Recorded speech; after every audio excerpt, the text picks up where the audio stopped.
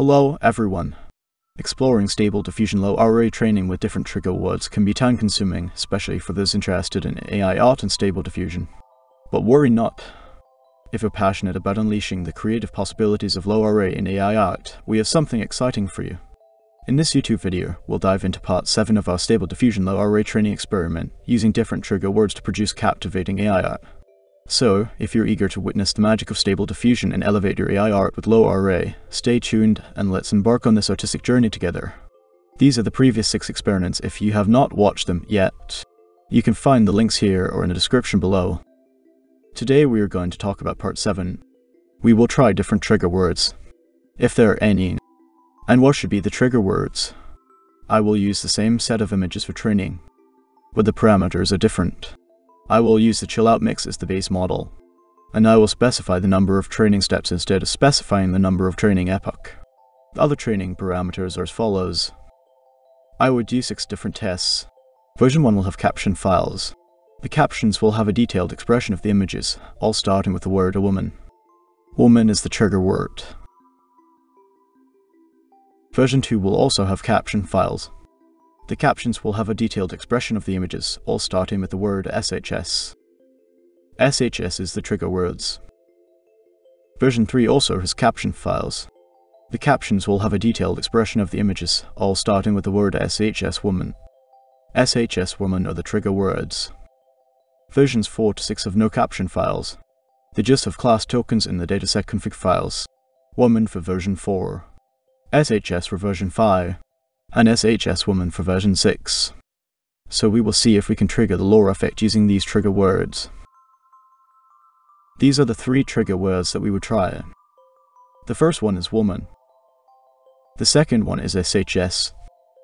The last one is SHS woman. We first try some very simple prompts. The first prompt is an empty prompt. This is the image with the empty prompt. Next, we add the LoRA file to the prompt. Each column represents the corresponding result of those six different LoRA models. Because there is no trigger word in the prompt, the LoRA effect should not come out, and we can see that the results are correct. A green color means that the results are expected and is correct. Next, we add the trigger word woman to the prompt. Because these LoRA models are trained with the woman trigger words, the result should show the LoRA effect. For version 1, the result is correct. For version 2, the result is not clear. For version 3, the result is correct. For version 4, the result is not clear. For version 5, the result is not correct, it should not show the effect but it did. For version 6, the result is not clear, a green color means that the results are expected and has succeeded. A red color means that the results are not expected and has failed. Next, try to use SHS as trigger words. Versions 1 to 4 are correct. Versions 5 and 6 are not correct. Next, we use SHS women as trigger words. Only versions 2 and 3 are correct. The other version gave the wrong results, Okay, we now try another simple prompt. Of one word, one girl. Prompt will of one word, one girl. This is the result of the prompt. If we add the LoRA model to the prompts, these are the results. The LoRA effect is not exactly the same as our target. However, the results changed a lot, but the results are still correct. Next, we add the trigger word woman. Versions 1 and 3 gave the correct results, the other version gave the wrong results. Next, the other trigger words SHS. Versions 1, 3, and 4 gave the correct results. The other version gave the wrong results. Next, use trigger words SHS woman. Only version 3 gave the correct result. All other versions gave the wrong results. Hey there, if you're enjoying the content so far, make sure to hit that like button and subscribe to our channel for more videos like this. By hitting that subscribe button, you'll be the first to know when we release new videos. Don't forget to turn on notifications as well, so you never miss out. Next, we try another simple prompt. We will try to put just one boy in the prompt. This is how it looks like with just one boy. In. If we add the LoRA model to the prompt, these are the results. All versions gave correct results. Next, we put the trigger word room into the prompt. This time, it is a bit tricky. However, versions 3 and 5 still gave the correct results. All other versions failed this task. Next, we use the trigger words SHS. Versions 1 and 4 still gave the correct results. All other versions failed this task.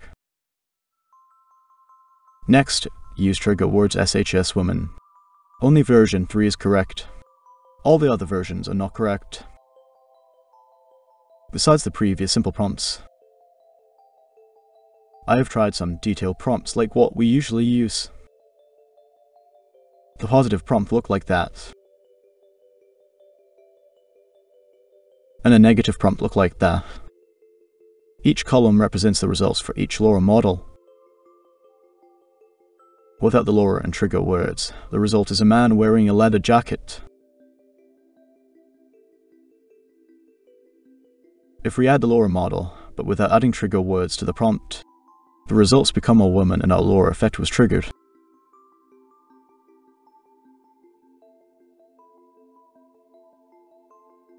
If we add the trigger word woman, our LoRa effect was triggered in all of the results. If we use the trigger word SHS, also, our LoRa effect was triggered in all of the results. If we use the trigger words SHS woman, again, our LoRa effect was triggered in all of the results. Next, we add one girl to the prompt and repeat the testing. Same here.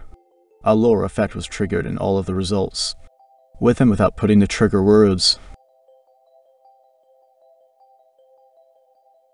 Next, we add one boy to the prompt, and repeat the testing. Same here. Our LoRa effect was triggered in almost all of the results, with and without putting the trigger words. There are only some differences in the case when using the SHS as a trigger word.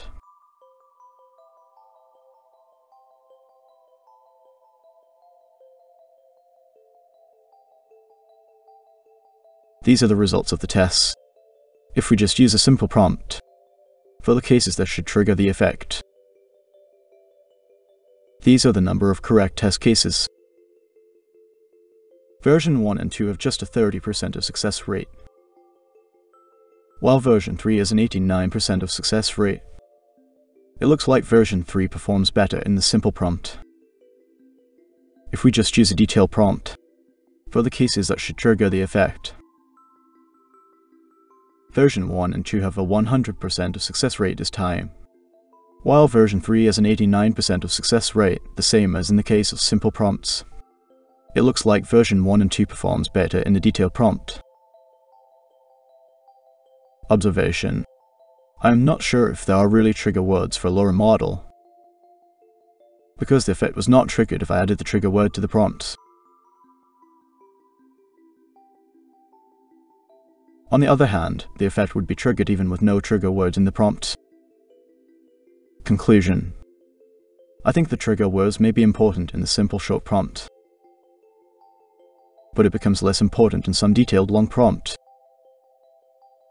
If you really want to have some things as the trigger words, you can use that format. This is the format of version 3. It gave the highest success ratio in both the simple prompt and detailed prompt. The trigger word should look like that. Put a special word as the first word, and the corresponding class as the second word. Whoa. If you have more experience in this trigger words topic, Please let us know in the comment below.